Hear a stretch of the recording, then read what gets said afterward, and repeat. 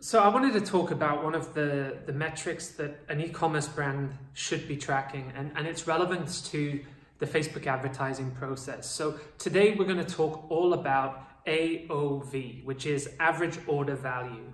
Now, average order value has a really, really big effect on how successful your Facebook advertising campaigns are going to be. To give you an example, if your average order value is only 20 pounds, you're going to need a lot of warm assets, so a big social following, you're going to need a large mailing list, or you're going to need a lot of virality in your product so that it needs to be a super hot product. The reason for this, in general, e-commerce stores convert at around 2%, which means that out of every thousand visitors you send to the store, roughly 20 of those are going to purchase. Now, if each of those visitors purchases at an average of 20 pounds, that's only 400 pounds.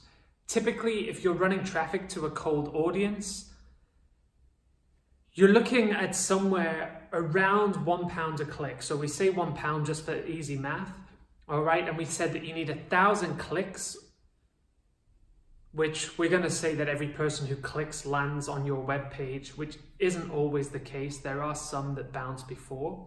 You're looking at £1,000 in ad spend to make £400 of profit.